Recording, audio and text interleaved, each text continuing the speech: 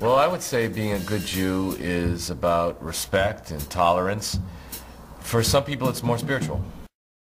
Come on, coach. Last year Johnson couldn't even dribble. Now she leads the team in scoring. Don't even get me started on Anderson. Do you even know why cats purr? Why do they purr? The vibration you feel? It calms the cat. But it also repairs muscle damage and fractures. It has something to do with the uh, frequency. I didn't know that. Well, now we all do. Make an appointment with the vet. You are, above all else, not to mention this to anybody.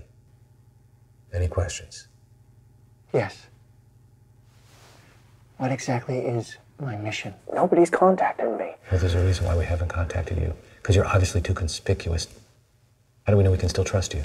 I'm sick of this. Soon. I promise. Soon. And we would like to thank Thank God you're here. What is it? Came as soon as I could. You're fired. What? Oh no, Brad. Maybe, possibly have those figures for the Johnson report? Well, it's not really my report. I can get you the figures. On my desk by two? And while you're at it, do the Taylor report.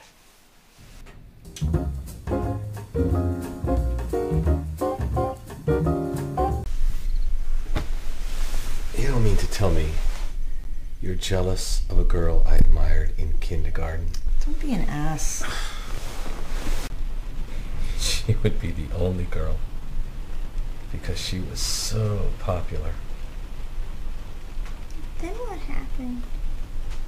Well, then my mother, your grandma, moved away and I went to another school. And then I went to yet another school. And that's where I met your mommy. And lots of other things happened. Here we are.